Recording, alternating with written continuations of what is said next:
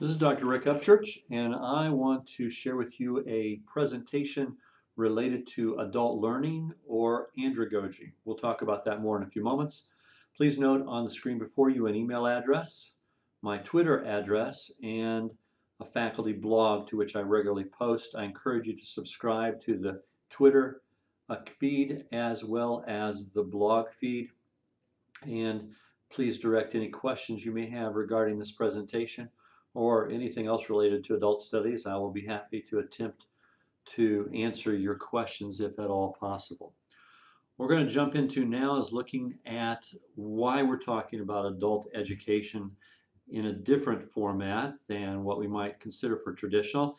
And as you can see there on the chart at Belhaven University in the spring of 2016, the average age for adult students was 38.6. You can see it varies from campus to campus in a general locale, but it doesn't vary much. It goes down to uh, maybe 35.7 at the virtual campus and up to a high of 42 at the Memphis campus. So you can see we're dealing with adults here. And this is an important consideration because adults are bringing into the classroom life experiences, which means that teaching them is different than teaching 22 year olds. Now, andragogy as a term was first coined in 1833 by Alexander Kapp. It was made popular by Malcolm Knowles. You're probably more familiar with that name in the late 1980s. Uh, pedagogy, the word means methods and techniques for teaching children. Andragogy means the methods and techniques for teaching adults. And one thing we can say for sure is that adults are different. I have a short video that kind of emphasizes that. Okay, class. Picking up where we left off, on March 11th, 1942, MacArthur left the Philippines for Australia, proclaiming, I shall return. Wrong! Never said it! Excuse me? Never said it! Wrong! Never said it! I was there. He didn't say that. What MacArthur actually said was, people of the Philippines, wonderful working with you, and I'll see you around. He went into a pinky He said, I'll see you around. That's what he said. I was there. It's possible. It's just possible that Mr. Buckman's recollection is a little hazy. Actually, MacArthur, according to history, said, I shall return. And according to this picture of me, Buckman, and MacArthur, I happened to be his driver. I was sitting in the front, he was sitting in the back, and I know because I was there. All right. Malcolm Knowles proposed six um, assumptions regarding adult learners, and I think we're going to see as we go through these assumptions how that fits into uh, that little video we just saw and how it also fits into a an assumption or rather a, a perspective that truly does make andragogy a viable methodology or a viable philosophy for teaching. Now, um, first of all, learning has to be achievable. Adults need to know they can learn the information. And honestly, this is not always obvious to them. Many, many times, adults come into our classrooms believing that they are incapable of learning. And particularly early on, they labor under an imposter syndrome that they are sitting there believing that they themselves are probably the most ignorant person in the room and they are just terrified that somebody will discover that and point them out. And so that, that imposter syndrome plays into this achievableness. They're not always sure that they can learn it. And one of the things that contributes to an andragogical perspective is, a, is the ability of the instructor to help them understand that this learning is achievable. They need to learn that. So this is one of his basic assumptions. Adults need to be affirmed in their learning, especially in the beginning, and encouraged. Statements which help them understand that they can learn the subject that's being presented help builds rapport between them and the instructor and better student engagement overall in the classroom. So the first assumption that Knowles put forth is that the learning has to be achievable and they have to believe that it's achievable. That's two different sides of the same coin. It has to be achievable and the students have to believe that it's achievable. The second one is that there has to be relevant. And this goes with the first point of achievability. The instruction needs to be relevant or timely. Relevancy is a key component for adult learners. The more you can demonstrate relevancy of the topic, the greater the, the engagement of the student will be in the learning process. That's where the rubber meets the road really for student learners. Is what I am spending my time and money on relevant and in how is it relevant? So relevancy is a key component for adult learners. The more you can demonstrate as an instructor relevancy of the subject, the greater the engagement is going to be. Adults have to understand why the information is important, the benefits of learning the information, and also the risks of not learning the information. And sometimes that's equally as important as connecting the dots of relevancy of why it's important as what will happen to me if I don't know this information. And simply saying, you know, it's uh, you'll you'll need to know this someday is simply not good enough. So providing examples, making connections, and here's a really appropriate place to pull out from the class uh, personal experiences about where this particular subject has, has connected with students. And this applies across all subjects. And so relevancy is a key piece in understanding the second assumption that Knowles puts forth. And then another one is motivation. Students uh, usually are influenced by extrinsic motivation to come back to school. They have a motivation. They didn't just start back to school. They, they had something that started that. Uh, it was a change of job. Maybe they got a layoff. Maybe they got a promotion. Uh, maybe it's job dissatisfaction. They need more money. They're not fulfilled. Uh, perhaps it's personal issues, a divorce, a child being born, a child graduating. There are all kinds of extrinsic motivations that are going to move a student to come back into the classroom. It's likely once they get in the classroom, though, particularly as they begin to move past that initial class or two, that this begins to shift into an intrinsic motivation pattern that says, you know, what I'm learning really is making a difference in my life. I'm a better person now. I know more. I'm more self confident. And my self worth is stronger. So, extrinsic motivation brought them in. Intrinsic motivation is a factor right now in keeping them in. But don't go back to thinking that they're that they've forgotten about that extrinsic motivation. Don't believe that they're sitting there thinking, "Man, I am learning, and that is that is all there is to it. Man, learning is the bomb." They are thinking learning is a bomb, but they're also thinking I'm learning because I need a better job. So that extrinsic motivation is still a great value to them. There's a strong connection to this, this concept of value. And if I had to put one word here, I would definitely put motivation equals value. The connection of value is why they are staying in the classroom. And that brings burden back into the instructor and the curriculum and the whole process of bringing value back into the classroom. Another assumption that Knowles put forth is the connection is uh, experience. And this goes back to the Mel Brooks video that we looked at a moment ago. Due to their age, these students are much more likely to bring significant experience to the table. At 38, they've likely been in the workplace for 18 to 20 years. They probably have children. In fact, many of their children may already be graduating from high school. Uh, they may also be a single parent. Many of our students are. Some are working, most are working. Many are uh, unemployed between jobs, and many of them are looking to get a better job. We talked about extrinsic motivation a moment ago. They know stuff, and this is an important component here. And I'll share with you a quick story. Uh, I have a friend, Dave, who is a phenomenal teacher. Uh, he was teaching a class uh, on organizational management of some kind, and he got to a section that dealt with labor negotiations. And so he's teaching that, but he's never been in a labor union himself, and he's never dealt with labor negotiations himself. So he's teaching based off of theory that he's read and knows about and, and has part of his instructional background.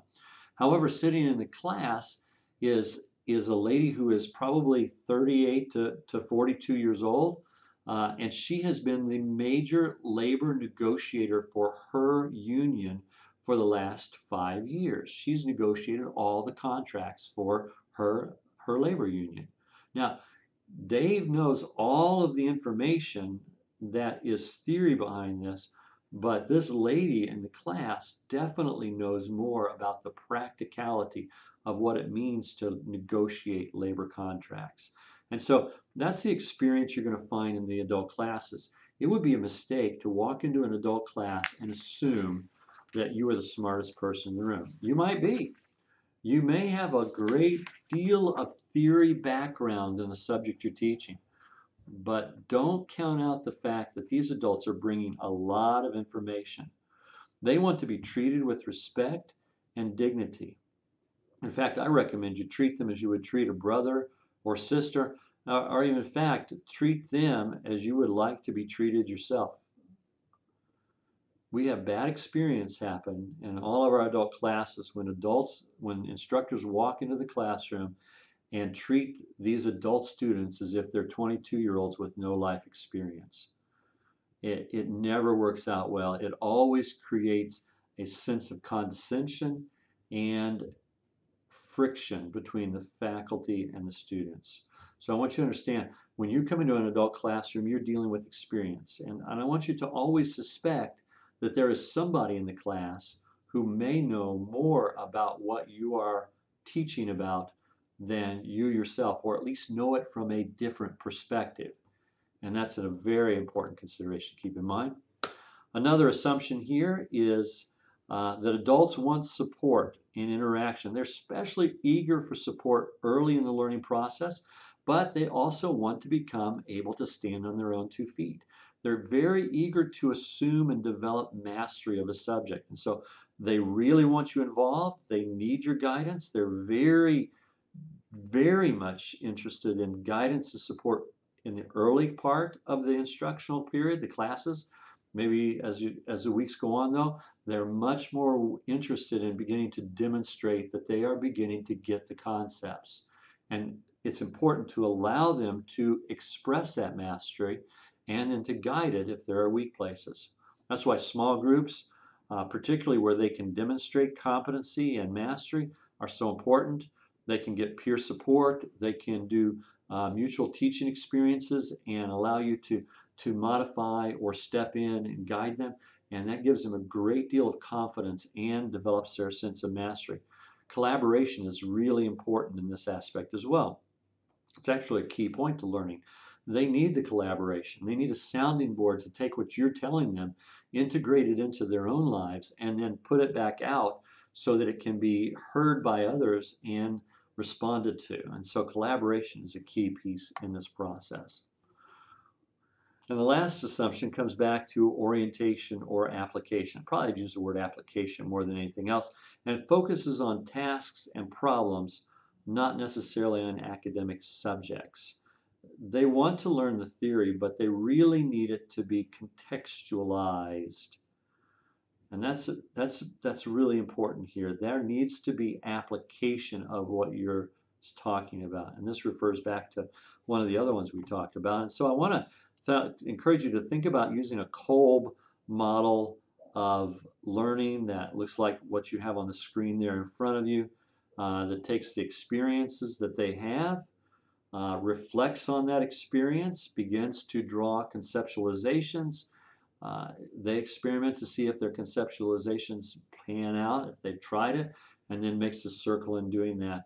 And all of this comes back around, and honestly, the piece that's missing here is the piece that I feel is right in the middle, and that is your input as the instructor.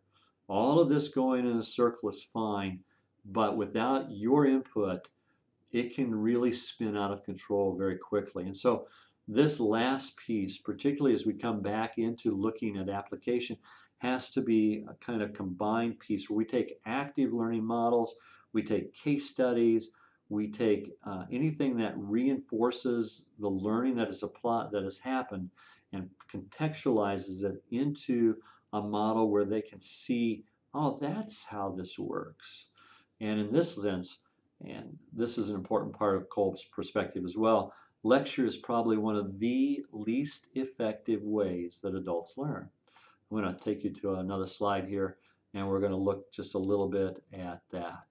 In 1930, the Republican-controlled House of Representatives, in an effort to alleviate the effects of the, anyone, anyone, the Great Depression, passed the, anyone, anyone, the tariff bill, the Hawley-Smoot Tariff Act, which, anyone raised or lowered, raised tariffs in an effort to collect more revenue for the federal government. Did it work? Anyone? Anyone know the effects? It did not work, and the United States sank deeper into the Great Depression. Today, we have a similar debate over this. Anyone know what this is, class? Anyone? Anyone? Anyone seen this before? The Laffer curve. Anyone know what this says? It says that at this point on the revenue curve, you will get exactly the same amount of revenue as at this point. This is very controversial. Does anyone know what Vice President Bush called this in 1980? Anyone? Something DOO economics. Voodoo economics. Now, this those were obviously high school students from the movie um, Ferris Bueller's Day Off. Probably you've seen that movie, but it does emphasize uh, that lecture is is probably not as effective as we might think it is, but it's even worse for adults. They're not going to be able to draw from the lecture the information they need based off of these assumptions alone. I mean, honestly, there needs to be that that relevancy connection, that application connection. There needs to be the interaction that goes on with the support and interaction piece. All of that comes together to make learning possible. And although the points that I've presented here on these assumptions aren't necessarily in the order that Knowles published them, published them, I've taken some liberty on his points as well. They do comprise the essential aspects of adult learning theory. Now, uh, these don't necessarily apply to all the students. Uh, but these assumptions truly are um, a part of, of the adult learning theory. Not every student is at the same place. And I think that's an important consideration as well. Research is showing that these concepts are actually applicable regardless of age, and they better be, may better be described as principles of facilitative teaching. And in this, principles of facilitative teaching, we are actually looking at, um, at understanding how we can take these principles and bring them into the adult classroom as the instructor and be more effective to increase student engagement and to become getting be able to get our students more involved.